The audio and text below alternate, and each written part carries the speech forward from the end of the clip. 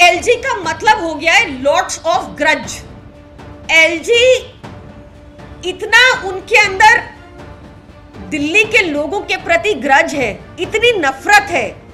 भाजपा सरकार ने, आपने देखा है सबने, हमें कैसे लगातार डराने की कोशिश की सीबीआई ईडी लगाई, हम नहीं डरे।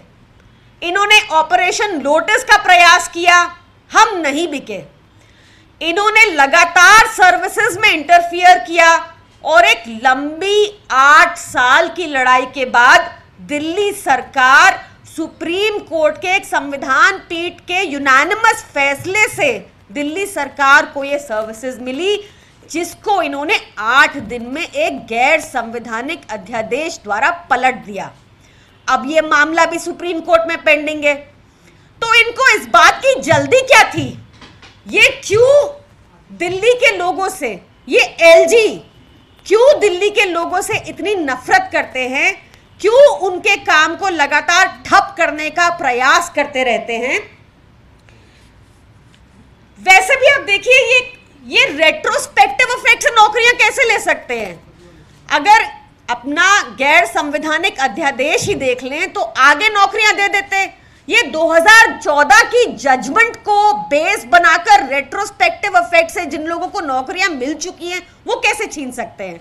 अब हम कोर्ट तो जाएँगे ही और निश्चित तौर पर जीतेंगे। पर एक चुनी हुई सरकार का काम क्या यही रह गया है कि हम कोर्ट जाते रहें, वहाँ पर लड़ते रहें, या हमें जनता के काम करने के लिए चुना गया है?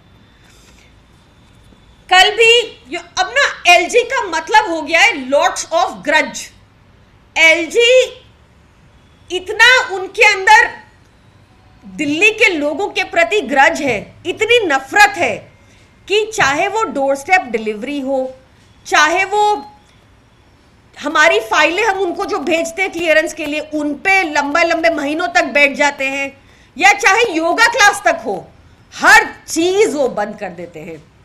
इन लॉट्स ऑफ़ ग्रज वाले एलजी को मैं बताना चाहती हूँ कि उनकी इसी मानसिकता की वजह से दिल्ली की जनता ने तीन बार भाजपा को लेजिस्लेटिव असेंबली में हराया।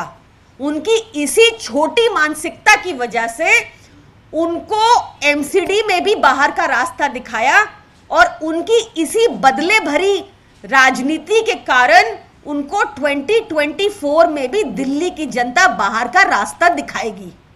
मैं साथ ही इन लॉट्स ऑफ़ ग्रज वाले एलजी को यह भी बता देना चाहती हूँ कि आप कुछ भी कर लीजिए, दिल्ली की जनता से आप जितनी नफरत करते हैं, उससे कई ज़्यादा अरविंद केजरीवाल जी दिल्ली की जनता से मोहब्बत करते हैं और वो जो मर्ज़ी प्रयास कर ले एलजी वो अरविंद केजरीवाल जी को नहीं रोक पाएँगे, नहीं तोड़ पाएँगे।